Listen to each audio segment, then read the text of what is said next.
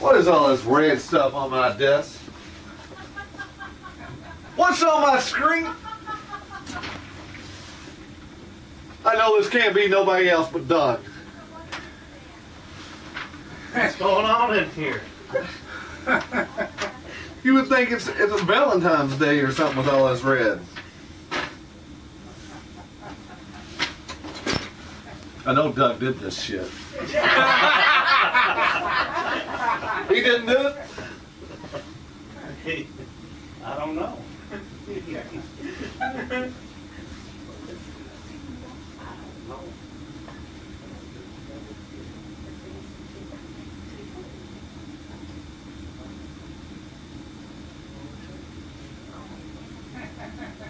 He just, all he did was, um, what, what's going on in here?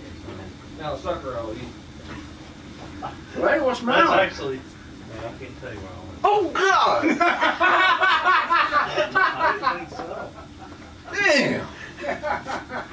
I didn't even notice that. Guys, thi- this can't go. This has to go.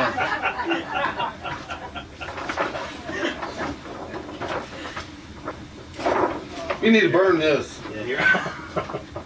I'll take this off your hands. You you need to live up there for a couple minutes. Well, see how I walked in, seen that on my desk, and I was like, no, that, Is that all you saw? what was on the desk. I didn't even look at the wall. I'm surprised. It kind of stuck out like a sore thumb.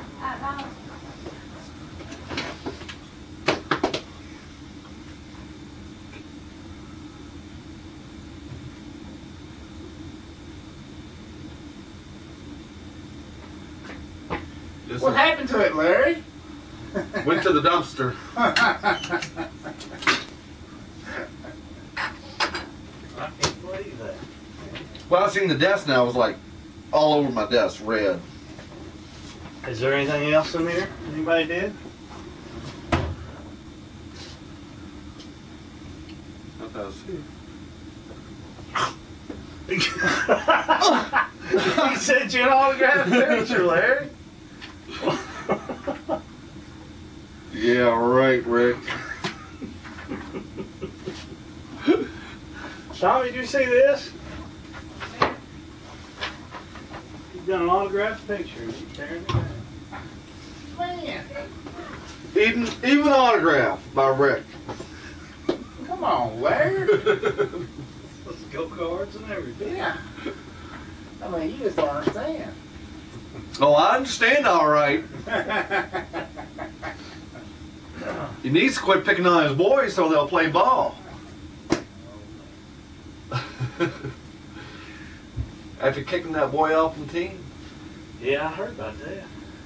and then his Sounded like he coach, wasn't any good anyway. I heard his coach whined about it. he couldn't be very good anyway, playing six minutes in the last eight games. Uh-uh. You just missed it. What?